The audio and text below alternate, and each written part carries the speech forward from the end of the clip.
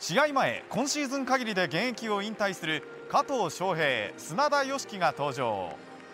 ゆかりの選手そして家族からそれぞれ花束が贈られドームは温かい拍手に包まれました。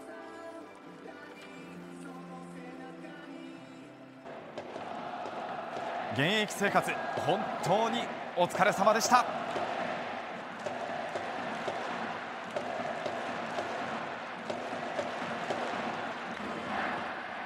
ドラゴンズは1回いきなりチャンスを作り4番石川昂弥。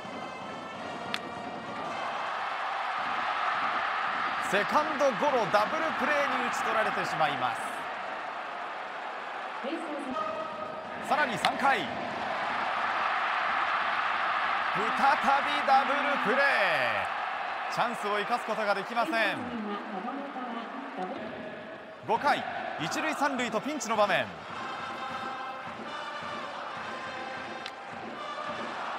セカンド田中がナイスキャッチ。からの。一塁送球。スーパープレーでファンを沸かせます。3点を追う9回。7番宇佐美。8番田中とツーアウトから連打でチャンスメイク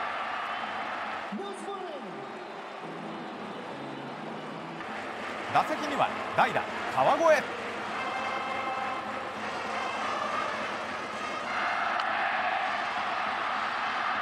高く上がった打球はライトの前にポトリ。土壇場で1点を返します。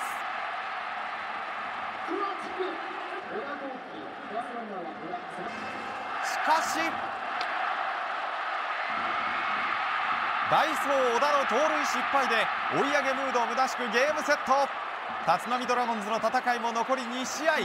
今日からの連勝に期待しましょう